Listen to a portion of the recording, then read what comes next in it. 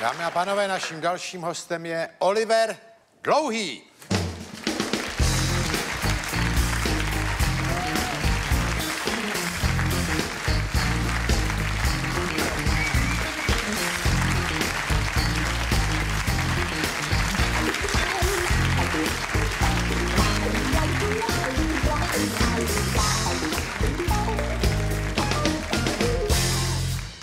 Oliver Dlouhý, kromě večer. toho, že... Dobrý večer. Kromě toho, že je bratrem Michala a Vladimíra Dlouhýho, našich známých herců, tak je ale slavný jako podle třeba amerického časopisu Forbes jako jeden z nejrychlejš, nejrychleji rostoucích startupů na světě.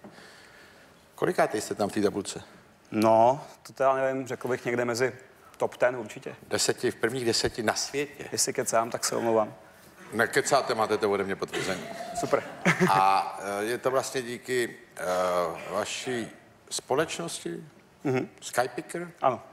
A to je kuriozní věc, protože to je vlastně uh, společnost a aplikace a uh, realizace nákupu letenek. Mm-hmm. Člověk by si řekl, já teda, jak může dneska v tomhle oboru někdo takhle rychle růst?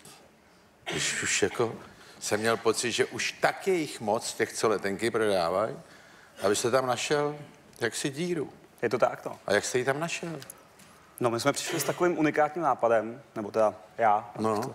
A, a že vlastně, a jak, jsou, jak jsou lety různých, eh, různých aerolinek, které spolupracují mezi sebou, přestupuje se prostě v nějakém letišti, a, tak já jsem se rozhodl spojit ty lety těch aerolinek, který, který spolu nespolupracují.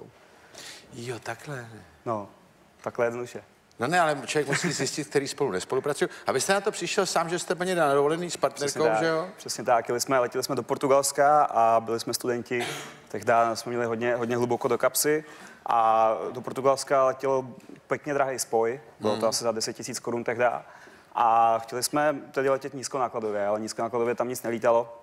A, takže jsme přemýšleli, co s tím. Mhm. Ale nízkonákladově letěl spoj z Prahy do Milána. Tak jsme si řekli, OK, tak ještě zkusíme z toho napojit z toho Milána do toho Porta. Aha. A nakonec se to povedlo najít, byl tam docela dobrý čas na přestup a vyšlo nás to asi na 2000. Místo Takže deseti. Místo deseti. Tak jste si řekl, to je třeba prostudovat. Přesně tak, ale ono nám to trvalo pěkně dlouho to najít, asi několik dnů, než jsme vyzkoušeli všechny ty ko- kombinace, aby to navazovalo. Aby to navazovalo. No. A tak jsme si řekli, nebo já jsem si řekl, že OK, takhle jsme ušetřili 8 tisíc na banální věci jako ano. letenka. Kdyby se to dalo zautomatizovat, aby to netrvalo týden, ale aby se to dalo najít hned, tak No. by to mohla být docela díra na trhu a mohlo by to fungovat. No je to díra na trhu, abyste ji zacpal nádherně, že? Oni tam popisují i ty parametry, a tak vy je znáte určitě líp toho vašeho růstu, že jste byli tři nebo co. Jak Jo. je to? Ty parametry... Tak, tak ne, OK. 2014 nás bylo, jsme byli tři. Tři. 2015 30 a 2016 teď už nás je přes 500, přes 500 lidí. 500 lidí. No. Abyste to zvládli.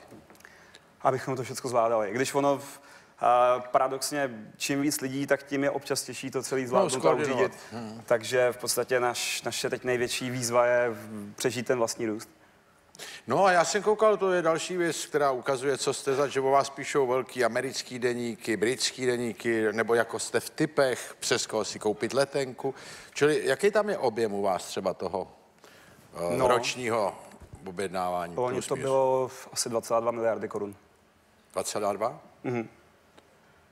No a ten systém, jak vy vyhledáváte ty lety, to zůstalo vlastně od toho vašeho zájezdu s tou partnerkou, jenom z toho rozvinu nějak? Přesně tak. A vlastně od té doby vymysleli jsme ten systém, a naprogramovali jsme to a teď už jenom předáváme nové aerolinky, nové typy přestupů, nový přestupní letiště a tak dále. Tím pádem rozšiřujeme vlastně ten obsah, mm-hmm. aby to na čím dál tím víc kombinací nacházelo tu nejlevnější letenku. No a takhle přes den, od rána do večera, plus minus, no tak tam si objednávají lidi v noci, protože to je z celého světa, že? Přesně tak.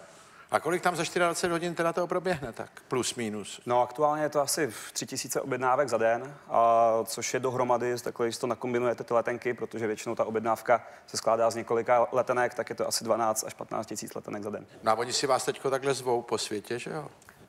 Jo, No ne, teď jsem koukal, někde jste byl, nebo uh, někde jsem vás viděl v zahraničních novinách. Jo, jo, hodně cestujeme. Oni jsou různé konference v tom, No, no, v tom, no, no. v tom travelu, v tom cesto, ce- cestovním ruchu. No. A my vlastně, jelikož náš biznis je hodně postavený na partnerstvích, Hmm. na kamarádství, jak s aerolinkama, tak s jinýma vyhledávačema, s jinýma prodejcema letenek, tak eh, na tyhle ty konference jezdíme a s naším týmem, kde tyhle ty partnerství domlouváme, domlouváme podmínky. Občas se tam i nachomítnou nějaká média, takže, takže Jo, z toho toho je potom nějaký. Nějaký PR. S českými aerolinkama problémy není, ty mají dvě letadla, čili to je hned vyřízený, že jo? Vlastně historicky český aerolinky, vlastně jenom se dvěma aerolinkama jsme měli kdy problém. Mm-hmm. Z celého světa je to asi 600 aerolinek a jedni z nich byli ČSA. To tam ještě byl tvrdík, nebo už tam nebyl? Nejsem si úplně jistý.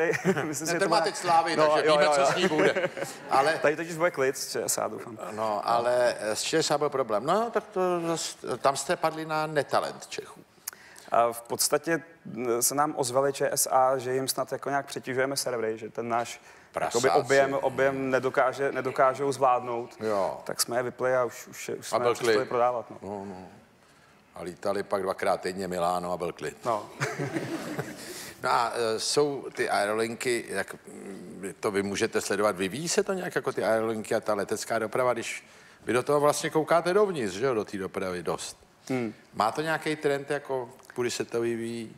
Ten trend obecně je rostoucí, protože no. se čím dál tím víc objevují ty nízkonákladovky, který, Jo. který umějí nabídnout tenhle třeba za 50 dolarů. Ono teda cestu, taky které- klesá ten doprovodný servis a jídlo Jasně, už si bude jasně. každý platit. No. A tak dále. Brzy budeme asi lítat ve stoje a střídat se v řízení letadla, ale to nevadí. Teď ty, ty letíš přes Atlantik, já letěl minule. Ale hlavně, že se doletí, že jo. A snad prý 80% Čechů lítá, lítá na dovolenou let, letadlem, jsem slyšel někde. Ne, ne, no, proti tomu protestoval tady, myslím, uh, mladý Stropnický, nebo kde, že tolik lidí lítá letadlem a že to je neekologický. Průšvih, průšvih, No. pardon. no, tak je pravda, že když pojete pěšky na dovolenou do Spojených států, tak je to program na celý život, že? Cesta je cíl.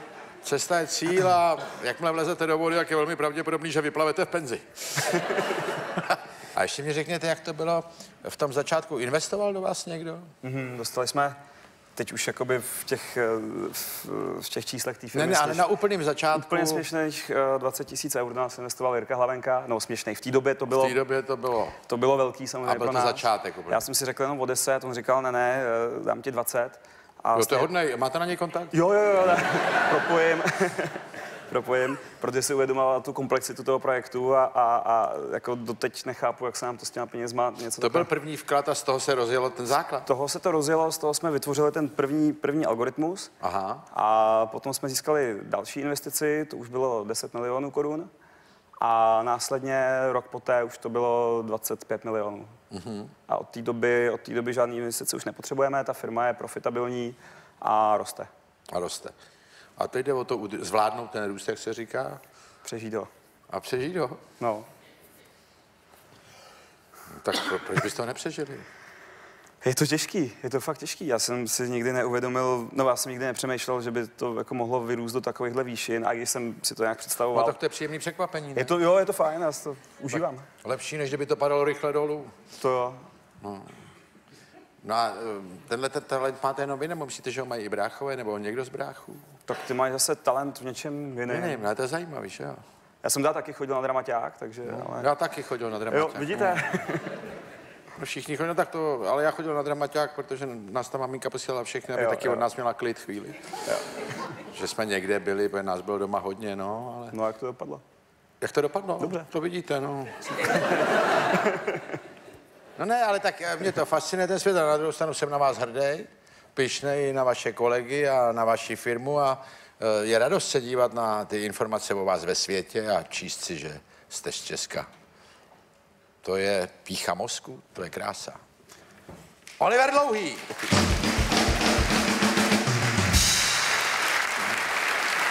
Dámy a pánové, já vám děkuji za pozornost a těším se s vámi za týden na skanu, buď tady v divadle Archa nebo u televizních obrazovek a mějte se krásně.